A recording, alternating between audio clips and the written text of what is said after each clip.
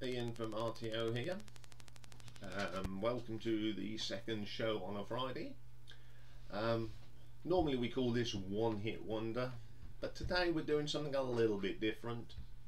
Um, this is a soundtrack album to a film called Still Crazy, which came out in 1998.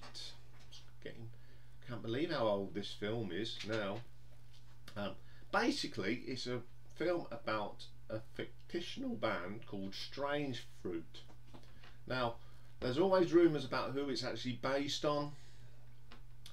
People say it's Deep Purple. Uh, it's a Deep Purple Uriah Heep sort of band, yeah. And the film starts off of a Wisbech festival in 77 and it all went wrong and they went off Stive and never performed again. So that sort of ties in with how Deep Purple split up in '76, and basically the the Strange Fruit, the band, and the actors that played it. Bill Nighy played Ray Sims. Stephen Rea played Tony Costello. Jimmy Nail was Les Wicks. Timothy Spall was David Beano Baggot. Um, Bruce Robinson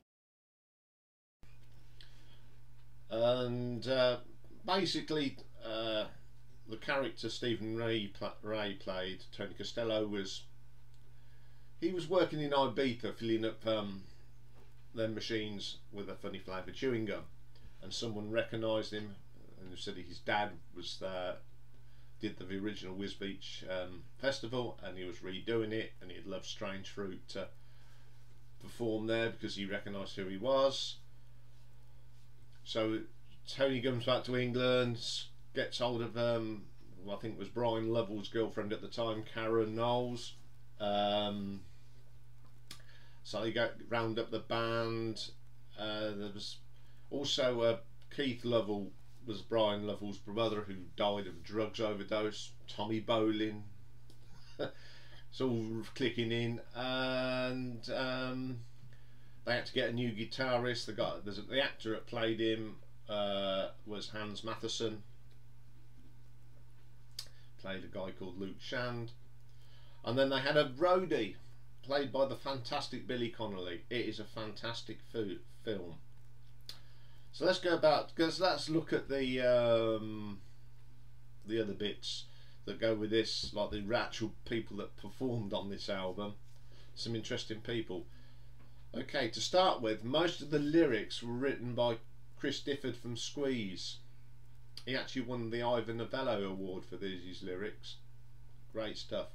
Now, the actual band, uh, Bill Nighy and Jimmy Nail actually sing on this, which is pretty good. They've both got great voices. Uh, guitars were done by Steve Donnelly. Now, Steve Donnelly has done some work. He's worked with David Arnold on the Tomorrow Never Dies James Bond film. He's worked with Sheryl Crow. He's worked with Nick Lowe. Um, then we got Morgan Nicholls. Um, if you don't know who he is, he's the keyboard player with Muse when they're on stage. Uh, Guy Pratt, don't have to have no introductions to Guy Pratt. He's played, I mean, he's played with Natalie Imbruglia and Madonna, but he's more known for anything to do with Pink Floyd. He's played with Pink Floyd, he's played with David Gilmour, and he was part of Nick Mason's Saucerful of Secrets project. Uh, then there's other guys. Paul Carrack's on here, Mike and the Mechanics. Um, great musicians and some uh, session mu musicians as well who have played with loads of these have played with all sorts of people um, but the actual soundtrack is probably one of the best soundtracks I own. It's a great album. So let's have a look at these tracks. Okay the first track on the album and it is the best track on the album without a doubt. The flame still burns. It's wonderful the clip is in the um, playlists. You'll love it. Um, Jimmy Nail, I mean, he's a great singer anyway. and the guitar solo on this, the actual, um, is yeah, Steve Donnelly. He's a great guitarist. That's a wonderful song. It's one of my favourite songs. Anyway, if I was to do the top 10 of my favourite songs, this would be in it. Absolutely a brilliant song. All over the world. Great track. Bill Nighy sings this. It's brilliant. The keyboards in this are terrific. The,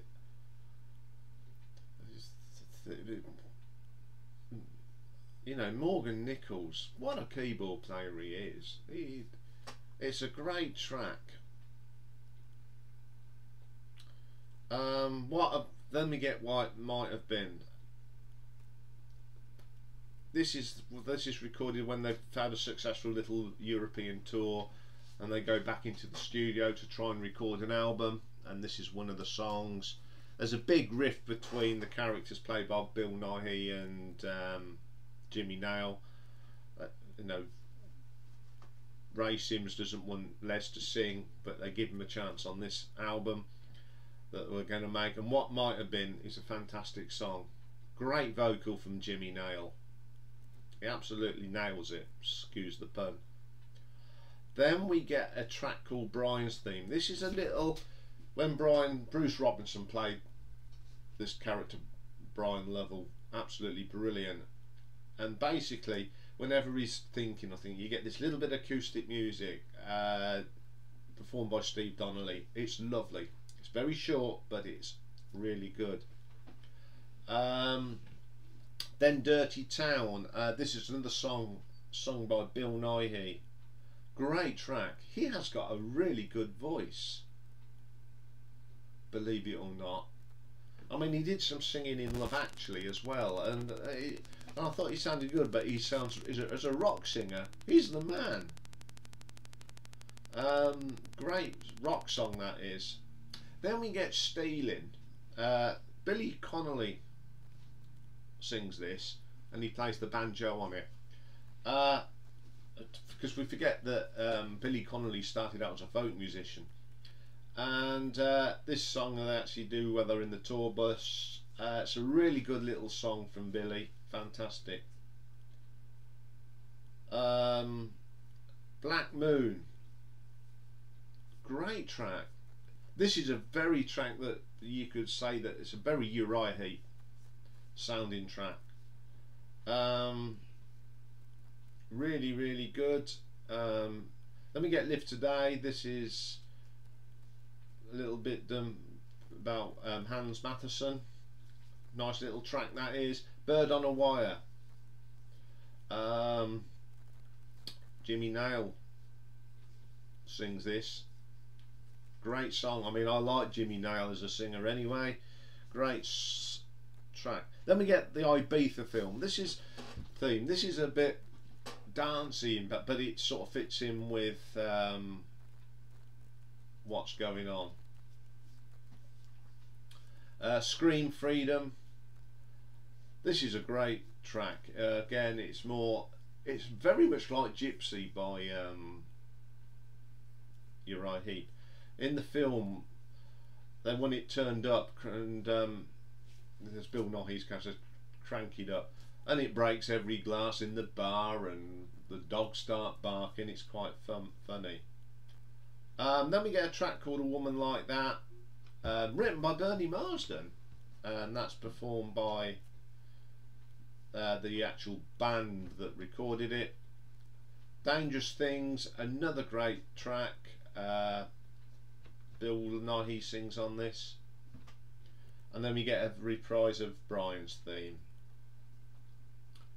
As a, if you took this as just an album and not from a soundtrack, you'd say this is a damn good album and it is a damn good album. That's only one way to say it. I've put some of the tracks in a playlist. Um, if you haven't seen the film, check it out. You can rent it on Amazon Prime. It is so funny.